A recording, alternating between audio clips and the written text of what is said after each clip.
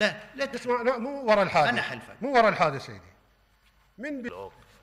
نعم. ووقفوك تاريخ. التوقيف مالك.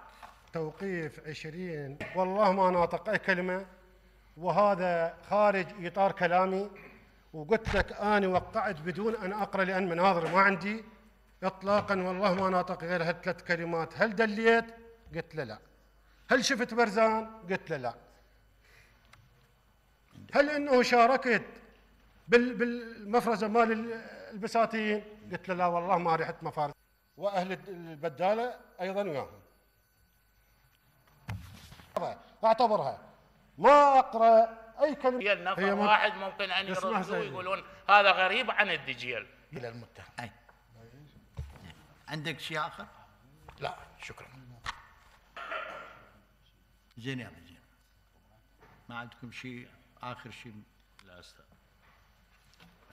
أو خلي خليه يقعد بآخر عادي ما ما يطلع. خليه يقعد بآخر. قعدوا بال بالوراء.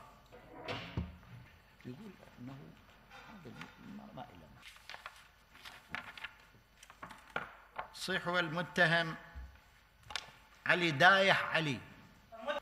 اثنين سيدي يمكن الحادثة هذه. أنا حسب يعني في يوم 8 7 بالضبط أنا ما موجود. وسيدي يعني والله ما ما أقول لك يعني أنا بالنسبة لي شخص موجود لفعل الخير ولا تحمل نفسي أي نفس شر لأي مواطن بالدجيل. وأني خدمت أهل الدجيل أكثر مما يعني أقدر أقول. حق الحق وتزق الباطل. فأرجو يوم الحادث ويوم اللي تل الحادث المن شفت غير غير على عليك بالجواب. لا تنسيني رحمة. على أبوك لا حول ولا قوة إلا بالله. أظل هناك. غدانا ناخذه ويانا. للبستان. إحنا ولد الباقيين. خلي واحد خفر بالبيت. هو ومرته. بشكل دوري. شو الإجازة ينطوها بشكل دوري؟ أنت تظل بالبيت. تسوون غدا ونبقى. When I return from I spend the whole noon in my orchard. شفت وزير الداخلية سعدون شاكر اللي هو عضو قيادة قطر العراق قبل القيادة القطرية. وشفت برزان إبراهيم واقفين بالساحة.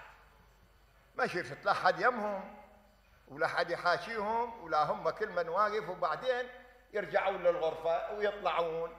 يعني ماكو واحد اتصل بيهم أو انطوا أمر أو كذا ابدا قطعا. لا والله. بالنسبة للمحاكمة وبالنسبة اللي قاعد نشوف هاي الأحداث هسه فدي عبارة عن مهزلة مهزلة يعني كبيره كل كبيره اجى ودخل في بيتي وكانت والدين واحد خطر في الفرقة.